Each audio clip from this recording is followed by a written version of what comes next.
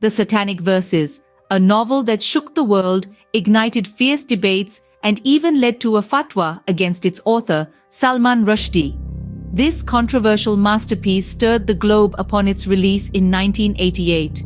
Penned by British Indian author Salman Rushdie, it intertwines the lives of two Indian expatriates in London with a dreamlike exploration of the life of the Prophet Muhammad. The narrative is a rich tapestry of cultural, religious, and fantastical elements.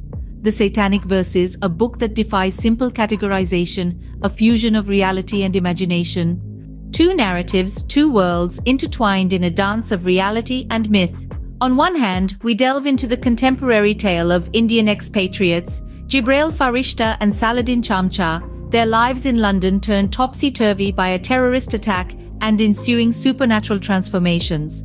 On the other, we journey through a dreamlike sequence recounting the life of the Prophet Muhammad and the birth of Islam, including the contentious satanic verses.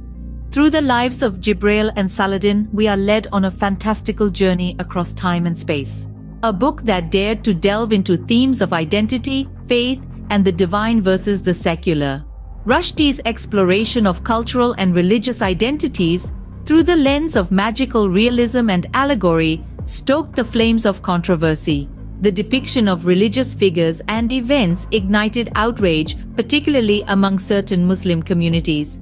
This led to a fatwa, a religious decree calling for Rushdie's execution, issued by Ayatollah Ruhollah Khomeini in 1989. The book's release sparked an international controversy that transcended literature, stirring up a potent mix of outrage and admiration.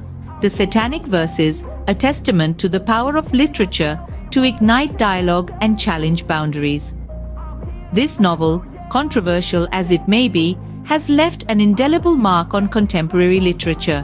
It dared to ask difficult questions about freedom of expression and religious sensitivity sparking intense debates that still resonate today. The book's legacy is a testament to the enduring power of literature to stir the pot, to make us think, to challenge our perspectives. The Satanic Verses remains a landmark in contemporary literature, a testament to the power of the written word to stir controversy, dialogue, and reflection.